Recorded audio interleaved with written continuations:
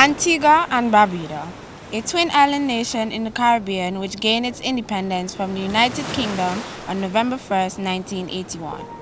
It's known for its white sandy beaches, clear blue waters, beautiful historical sites, welcoming people, and a rich maritime history. Happy 42nd independence to the country we love the most.